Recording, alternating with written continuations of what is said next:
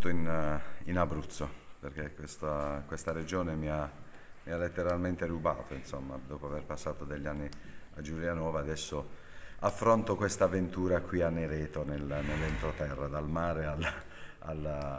al, al centro della regione. E, ehm, e la cosa è entrare in corsa è sempre un po' difficoltoso, anche perché noi tutti allenatori preferiamo sempre no? cercare di dare da subito, anche in, uh, durante la preparazione, una propria identità alla propria squadra, crearla. E forse è la parte migliore della stagione, anche perché lì non ci sono diciamo, le pressioni eh, sia della piazza ma soprattutto i risultati. Per cui eh, entrare in corsa, mh, mm, è vero, l'anno scorso l'ho fatto e devo dire che siamo, abbiamo ottenuto un ottimo, un ottimo risultato ed è lo stesso risultato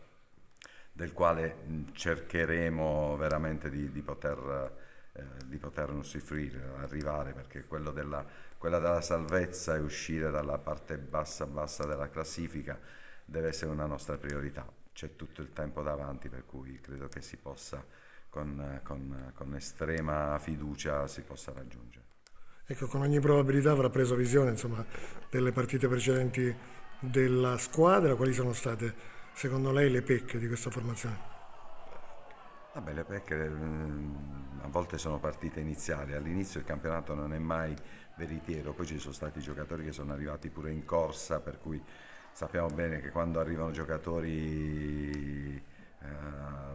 alla spicciolata gli stessi magari non sono prettamente subito pronti per affrontare gare importanti di campionato. Ehm, questa è una squadra che va, che va, che va amalgamata, so, so, soprattutto questo, che va amalgamata e che soprattutto